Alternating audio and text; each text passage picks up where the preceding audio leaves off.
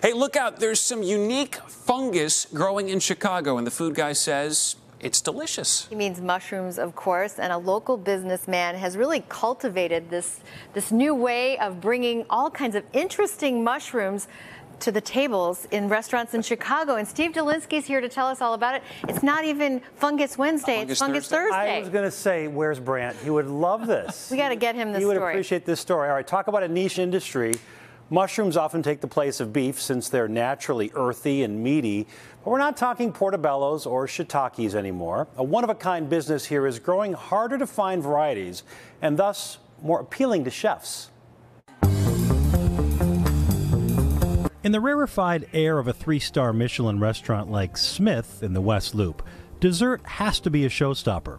The kitchen sources exotic chestnut mushrooms from a local supplier, as well as tiny enokis. The brown enoki mushroom, uh, which they were planning on growing in the same way as most, most enokis are like long, thin, small cap.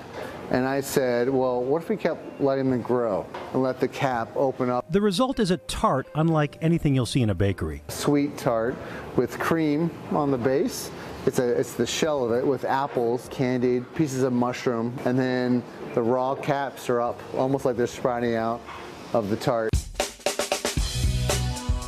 The customized cultivation stems from Four Star Mushrooms, a small business operating out of a West Side warehouse that looks like a set from a science fiction film. So I started this because I'm super passionate about sustainable agriculture and mushrooms are a keystone component in building sustainable food systems. The alien looking fungi emerge from containers of upcycled substrate.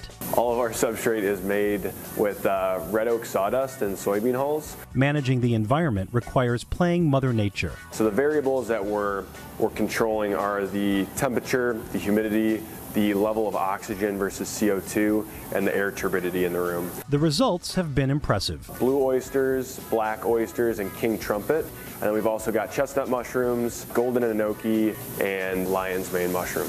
Scaling the business, they're now able to reach more customers, like the Dearborn in the heart of the loop, where mushrooms appear all over the menu. On a pizza, black and blue trumpets along with chestnuts. The, the trumpets are the star of the show, kind of on this one. We just put the chestnuts in for kind of meatiness. Trumpets and shiitakes are sauteed with dumplings, even braised for soups. We use mushrooms in areas where, like, you know, you still want to have a substantial meal that, that feels good, that feels filling. A little bit of everything is sauteed, then placed on a roll with cheese on the other side for a decadent melt that's broiled open faced, griddled, and pressed like a panini. They just have that, like, meaty chew that you want, and they're rich. The flavor profile of these exotic mushrooms is like nothing you've ever had. You could saute them with butter and salt and call it a day. More info about all the places I mentioned and how to buy those mushrooms fresh by the case or dried on our website, NBCChicago.com. Just search for The Food Guy.